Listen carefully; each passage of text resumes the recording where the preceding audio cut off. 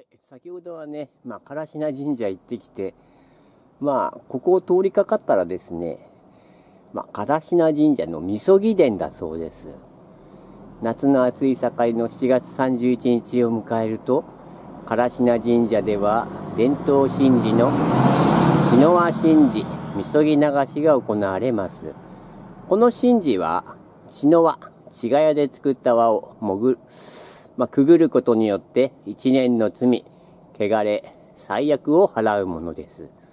篠和神事は午後7時半より、唐品神社で神事が行われた後、鎌倉と呼ばれる神楽曲が奏でられながら、みこしが上神保の神社から 1km ほど東へ離れた、ここ、下神保の、まあ、みそぎ殿へかけてご神行が行われます。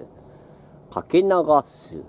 大山本の、まあ、伊豆川、原江玉江、清め玉江と、まあ、神歌を唱えながら、茅輪で沿道及び、まあ、みそぎ殿で待っている人々を、まあ、払い清めます。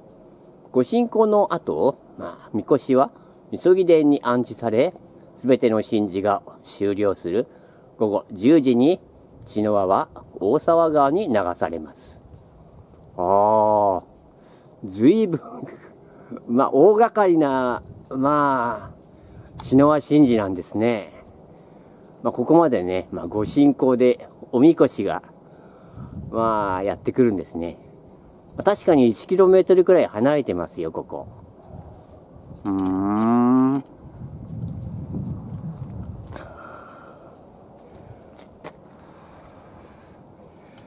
まあ、こういった、まあ、まあ、柱のね、間に、まあ、しめ縄がかかってる以外は、まあ、ちょっとした住宅かな、みたいな。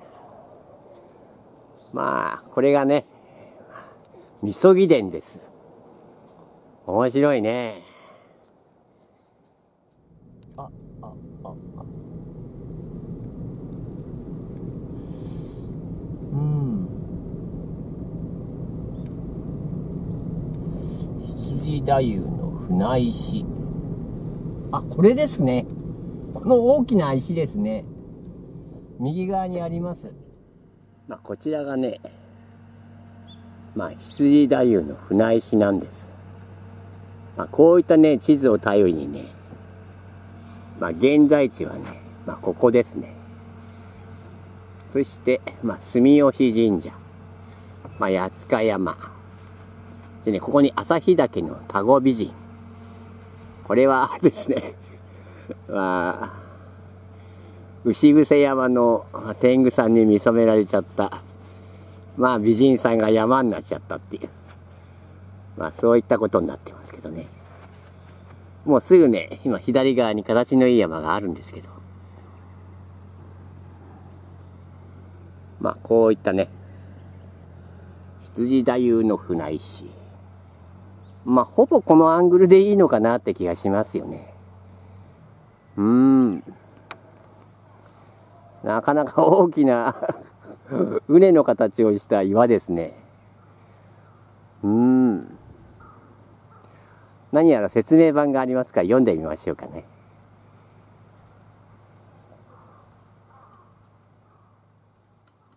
はい、船石伝説です。羊太夫は生まれた年、月、時刻が羊であることから羊太夫と命名され、18歳の時、父が死去し、まあ、八塚城主となりました。まあ、最地比で、ブニタケ、ミノタケ、7尺5寸、2メーター余の上部で、頑固、まあ、乱々として力強く、紙幣を圧しました。権田、倉淵町から献納された栗毛の春芽、まあ、権田栗毛に、まあ、またがり、一日で奈良の都へ日産したと言われ、まあ、羽を持ち飛ぶように走る八塚の小萩と呼ばれる若者が従いました。ある夏の日、まあ、小萩は胎児の下で涼をとって寝入ってしまい、通りがかった羊太夫は、小萩の、まあ、両脇の下に生えた羽を好奇心から取ってしまいました。小萩は空を飛べなくなり羊太夫は奈良の都への参代がままならず朝廷に謀反の疑いから、まあ、追っ手を差し向けられました。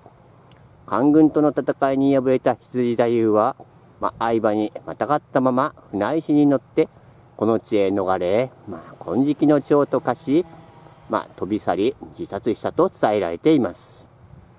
ああなるほど。まあこれねまあやつかの小萩うんまあ羊太夫の従者だったんですね。まあ権田栗毛をねまあなんていうかな。まあまあ、なんていうか、孫っていうかな。そういった位置づけの、まあ、若者がいたんですけど。まあ、でもいけませんでしたね。うん。やっぱり 寝ている時に人の、なんていうかな。まあ、寝た子を起こすとろくなことがないとよく言いますけど。まあ、金色のね、まあ、蝶とかし、飛び去り。でも、なんか、小萩の場合には、あの、沼田の方の、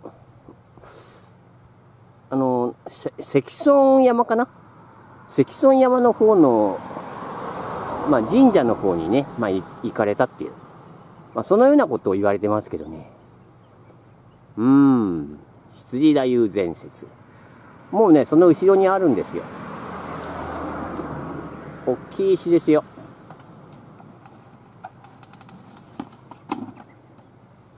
こんな大きな。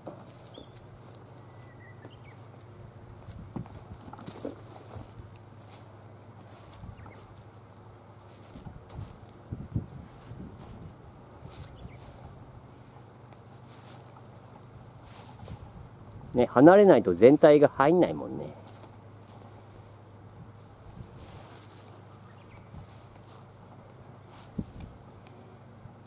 はい。このようなこれが羊太夫の船石です、これがね説明版のある方の反対側です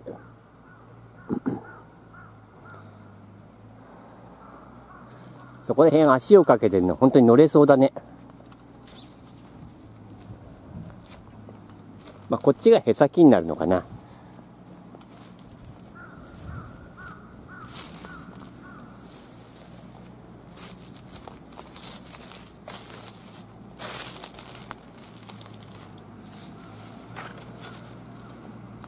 うん。ほんと大きいね。